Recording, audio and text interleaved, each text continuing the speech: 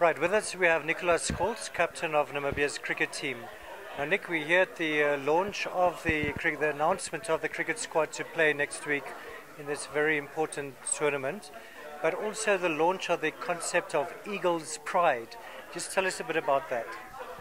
Yeah, Helge, thank you very much. Um, we're looking forward to the tournament coming up, and um, yeah, Eagles Pride is just a, a, thing that like started taking place now for the last month, and it's about, I mean, all the, the team and the members of the team and everyone being involved um, in cricket Namibia. And um, I'll, I'll, start it off by um, it's about playing for each other. I mean, the Eagles, like uh, working for the guy next to you, playing for each other. Um, and I mean, when the chips are down, we're fighting. We're gonna fight um, and take it, take it to the end. And I mean, the thing is, we wanna we wanna be the, the, team spirit, play together as a team, and bleed for each other. And uh, it's gonna be for the guy next to you. So that's that's the start of Eagles Pride. Great. So you're obviously quite confident of doing well and qualifying after this tournament. Well, yeah, we, we had good preparation for the tournament, coming up for the tournament, um, and I think the guys are, are silently confident. Um, but we're not gonna. I mean, we're gonna take it one game at a time, um, take it as it comes, and we'll hopefully we'll be in a good position at the end of the week. Great, thanks. Right, with us we also have a young fast bowler JJ Smit. JJ, tell us what does Eagles Pride mean to you? Uh, Eagle, Eagles Pride means probably the whole meaning, the whole team, and um, sticking together and bringing out our guns when push comes to shove.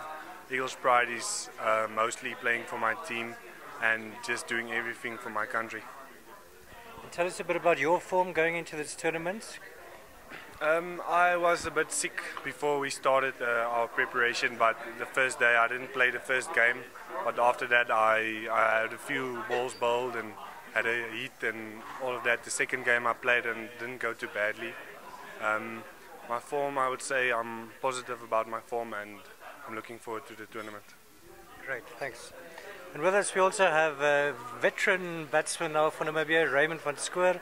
Raymond, what does Eagles Pride mean to you? Thank you, Helge, for the opportunity to speak. I think Eagles Pride will mean to me where we're not uh, a, we're not only a team, but we're a whole family together. We would say press, the president of Cricket Namibia, the whole board of Cricket Namibia, including the team and the supporters coming to watch. I think we're trying to create a whole team together, and creating the team as people outside cricket and inside cricket, where we all would want to achieve the best in the whole whole cricketing spirit. I would say. Right, and Raymond, how do you feel about your form going into this tournament?